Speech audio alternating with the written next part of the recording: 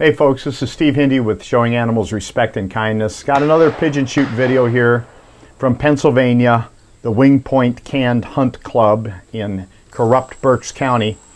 And what I wanted to show you today was just the treatment of the birds. Here you've got guys carrying birds out in crates and they just dump them on the ground because they have absolutely no consideration, no dignity, no, uh, you know, they, these people have got nothing.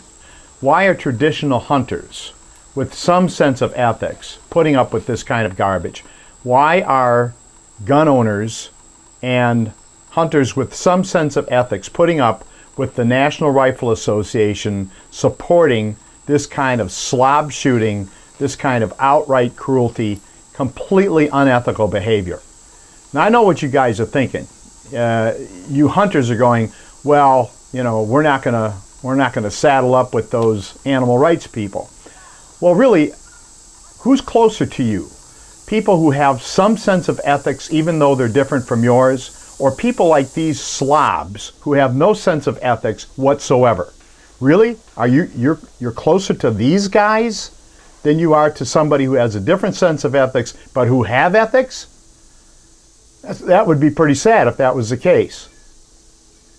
When are gun owners and real hunters going to do something about the National Rifle Association's support of live pigeon shoots in Pennsylvania. For more information, you can go to nracruelty.com. That's a site we've just put up to expose the NRA.